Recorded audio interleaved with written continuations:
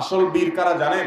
আসল বীর হলো ওই সমস্ত মানুষেরা যারা দুনিয়ার অনেক বড় লোভনীয় অফারকে ছুঁড়ে ফেলে দেয় আল্লাহকে খুশি করবার জন্য। যে তারা আল্লাহকে খুশি করবার জন্য অনেক হারাম অফারকে ছেড়ে ফেলে দিয়েছে। আমার পরিচিত এক ভাই, একবার আমার মসজিদে উনি বৃষ্টিতে শেয়াল ভেজা হয়ে বাইক চালিয়ে আসছেন সুদূর নারায়ণগঞ্জে, অনেক আগের কথা। তখন আমার বাসা ওখানে ছিল। কি হয়েছে? ভাই, একটা মাস আলা জানার জন্য আসছে। কি মাস আলা আমি অমুক অফিসে চাকরি করি এই আমার জব আমার এই জবটা হালাল হবে কিনা এতদিন আমার মাথায় ছিল না। আপনার একটা প্রশ্নোত্তর সেশনে একটা প্রশ্নের উত্তর জানার পর আমার মধ্যে সন্দেহ তৈরি হলো, তাই জানার জন্য আসছি। সন্ধ্যার পরে অন্ধকার, ভয়ঙ্কর ঝড় বাতাস, বৃষ্টি, এর মধ্যে ভদ্রলোক ওই বাইক নিয়ে চলে আসছে। আমি বললাম, তো এটা তো আপনি কালকেও জানতে পারতেন, দুদিন পরেও জানতে পারতেন। এই বৈরী আবহাওয়ার মধ্যে আসলেন। আমাকে ভদ্রলোক বললেন, ভাই যদি এর মধ্যে আমার মৃত্যু হয়ে যায়, আমি সেজন্য চলে আসছি। আমি অবাক হয়ে গেলাম যে কি তাকুয়া তার। যাই হোক, মাসআলা তাকে বললাম, মাসআলা অনুযায়ী তার চাকরিটা হালাল হয় না। বললাম, ভাই, এটা তো হালাল হয় না। তিনি সিদ্ধান্ত নিয়ে এলেন চাকরিটা ছেড়ে দেওয়ার, চাকরি ছেড়ে দিলেন। এবং তিনি যে চাকরি পেতেন, সেখানে প্রায় লাখ টাকার মতো বেতন পেতেন। এই বদলক সেই চাকরি ছাড়ার পর আর ওই রকম চাকরি পান না। কারণ এই লাইনে যেখানে যান সব হারাম আর হারাম। আমাদের অনেক যুবক ভাইরা আছেন, আসেন।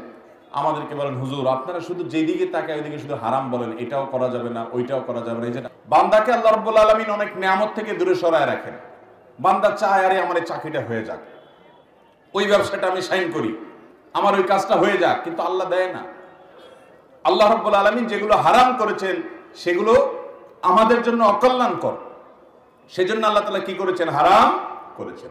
বিধায় আল্লাহ তালা যেগুলো নিষিদ্ধ করেছেন সেগুলোকে ছুঁড়ে ফেলে দেওয়া, হারামের লোভকে ছেড়ে একেবারে ছুঁড়ে ফেলে দিয়ে শুধুমাত্র আল্লাহর নির্দেশের সামনে মাথা নত করা, এটা হলো প্রকৃত বীরত্ব। ওই যে ভাই কথা বলছিলাম, লাখ টাকা বেতন পেত বেচারা ওই চাকরি ছাড়ার পর, মাত্র বিশ হাজার না কত টাকা বেতনটা চাকরি পাইছে। কোনো মতে তার জীবন যাচ্ছে।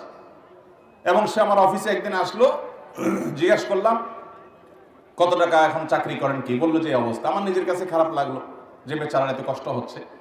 আল্লাহর কি আজীব কুদরত যে সে যখন আসছে আমার অফিসে, ওই টাইমে সে যেই জগতে কাজ করে, ওই জগতের একজন বড় ব্যক্তি, অনেক বড় একটা প্রতিষ্ঠানের এমডি উনি আমার অফিসে আসছেন। দুইজন মুখোমুখি। তখন আমি এমডি সাহেবকে বললাম যে, আপনার তো এই রিলেটেড কাজ। আর এই যুবক, হারামকে ছেড়ে দিয়েছে আল্লাহর ভয়।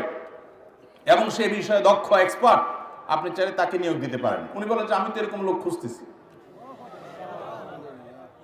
এবং দেখলাম যে আল্লাহ রব্বুল আলমিন কীভাবে তার জন্য তার সে ক্ষতিপূরণ করে দিয়েছে অতএব ভাইরা আমার, আমরা হারামকে না করব, হালালকে আলিঙ্গন করব এবং মাথায় রাখব, তাতে আমাদের যত ক্ষতি হয় হোক, যত স্যাক্রিফাইস করা লাগে লাগুক, ইনশা চেষ্টা করব না ইনশাআল্লাহ।